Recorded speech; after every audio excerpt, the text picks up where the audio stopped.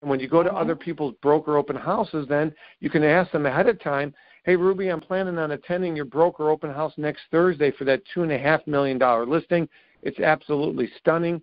What is the website that you created for that home, Ruby? Just give me give me a name. Oh, one two three Elm Street dot info. Okay, Ruby, would you mind uh, when I attend next Thursday if I uh, maybe took a couple photos and and did a, a a video while I was there, and I would make sure Ruby that I I tagged you as a listing agent, and I I gave the website of of one two three you know Main Street dot info um, and I plugged the, the website and I would not mislead. I would clearly say you're the listing agent.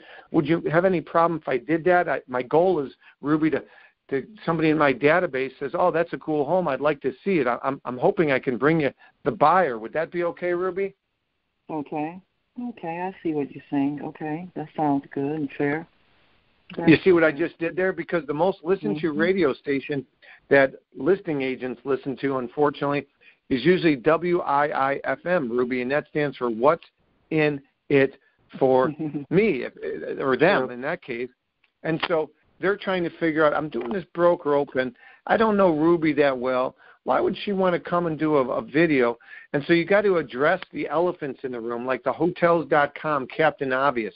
The hotel in the room, the, the the the elephant in the room is that they might think, hmm, is Ruby trying to poach my listing or is she trying to mislead and, and say that this is her listing? So you have to go above and beyond to make sure at this broker open uh, to, you disclose and get their authorization and in other words the listing agent to shoot a video at theirs.